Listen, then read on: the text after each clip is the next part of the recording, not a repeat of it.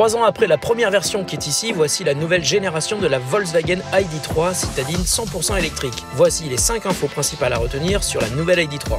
Tout d'abord, l'assistance à la conduite est géniale. Maintien dans la voie, régulateur auto-adaptatif et surtout l'affichage tête haute en réalité augmentée. Il vous permet de suivre les indications de votre GPS sans quitter la route des yeux. Ensuite, l'autonomie est assez incroyable, jusqu'à 557 km WLTP avec la plus grosse version de batterie, 77 kWh. Troisième info, le restylage est vraiment réussi.